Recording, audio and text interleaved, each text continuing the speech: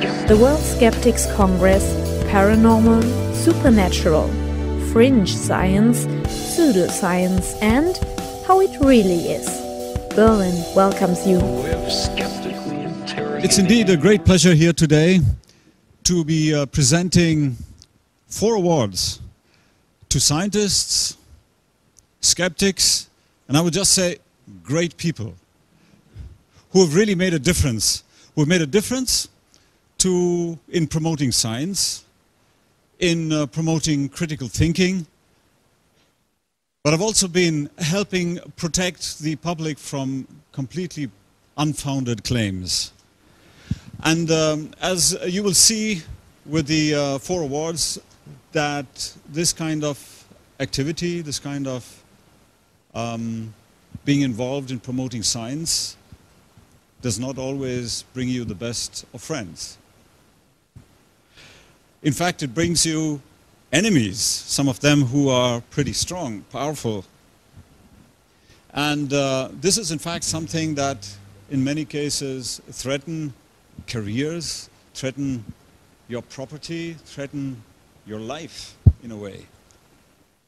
So it is a great pleasure for me to start by handing over to it's a real pleasure here to be one to receive this award, um, but two to tell everybody here because you've really genuinely been part of it. What everybody has done in the skeptical movement has genuinely helped change freedom of speech in Britain. And because our laws are used to shut up other people, I think what we've done as a community is change free speech laws around the world.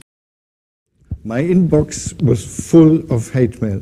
It usually is quite full of hate mail, but th that's that was a particularly full uh, moment. And one American chiropractor wrote to me explaining that I was an idiot, that I was paid by the pharmaceutical industry, that I, I, I don't understand chiropractic, and I should do uh, something else other than being a researcher. He concluded with a short sentence God will judge you what will be my next experiment? Well, I can just anticipate that we have resurrected a chicken.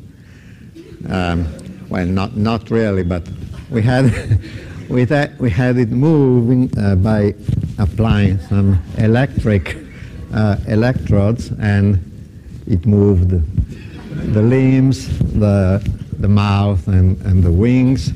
So wait until I will resurrect a man and then maybe myself, and then that would be something. If they can show a book that it has been traditionally used by homeopaths for that, that's sufficient. Hmm? Is this honesty? We have in Europe extremely good consumer protection laws. The exception is you cannot complain against, against homeopaths because they are regulated in another law. That's a scandal.